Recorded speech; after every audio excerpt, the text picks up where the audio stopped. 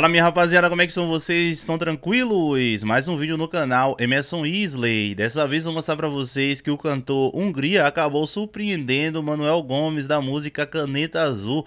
E assunto vem repercutindo nas redes sociais. Não só é, Hungria, mas também João Gomes, entre outros. Vem entender esse assunto que vem tomando grandes repercussões. Mas antes mesmo de ao conteúdo, eu gostaria de deixar aqui para vocês um trechinho da nova música de trabalho do cantor Railan Gonçalves, que se chama Passinho do Prostituto.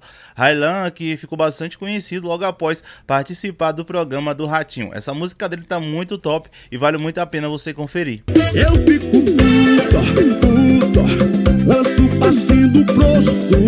Pois é, rapaziada, essa é a nova música de trabalho do cantor Railan Gonçalves. Eu achei ela muito top. Uma música pra cima, música é pra você que gosta de dançar, tomar uma cerveja no final de semana, tá naquele, naquela resenha ali. Vale muito a pena conferir esse clipe dele, velho. Eu vou deixar o link aqui na descrição pra você ir lá e conferir. Pois é, rapaziada, como eu falei pra vocês no iníciozinho do vídeo, o cantor Gustavo, vocalista aí da banda Hungria, Hungria, o Gustavo, assim, tanto faz pra galera, né? Ele acabou que surpreendeu o Manuel Gomes no dia de ontem e assunto vem repercutindo nas redes sociais. Com certeza você conhece Manuel Gomes, né? Ele que viralizou alguns anos atrás aí com a música Caneta Azul, que foi um hit viral, ou a música aí que algumas pessoas concordaram com o sucesso, outras pessoas discordaram, falou que no Brasil hoje o que não presta viraliza. Querendo ou não, só viraliza quando o povo quer. E por mais que a música seja besta, a música seja ruim, mas se o público quer, nós não devemos fazer absolutamente nada, né? Isso concordam comigo?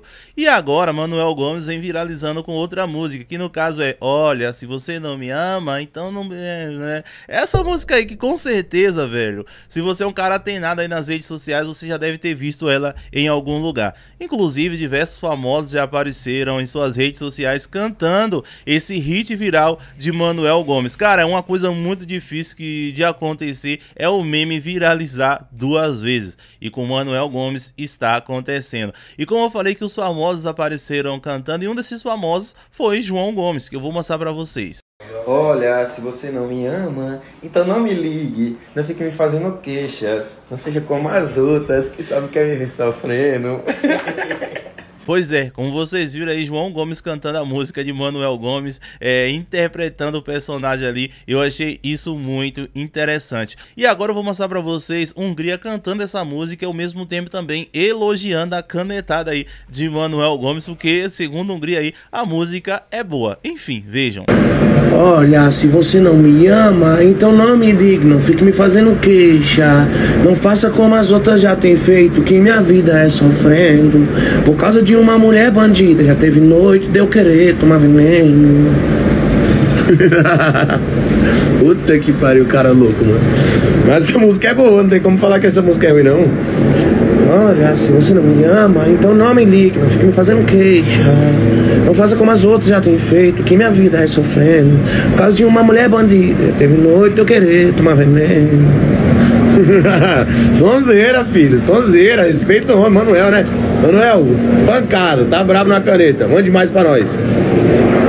Pois é, rapaziada, como vocês viram aí, Hungria falando da música de Manuel Gomes. Olha só, será que teremos um novo hit viral de Manuel? Na verdade, a música já é viral, né, velho? Porque ele tá pegando milhões de visualizações aí nas plataformas digitais. Pois é, rapaziada. Mas deixa aqui nos comentários o que é que vocês acharam aí das falas de Hungria. Se o que é que vocês acham de Manuel Gomes fazendo sucesso com essa música. Deixem aqui embaixo nos comentários, pois seu comentário é super importante. Bom, gente, é o vídeo de hoje aí. Muito obrigado por você assistir até aqui. Eu espero você no próximo. Um abraço e até qualquer momento. E lembrando a todos que a música é de Railan Gonçalves, vou deixar o link aqui na descrição, beleza? Tamo junto e até qualquer momento.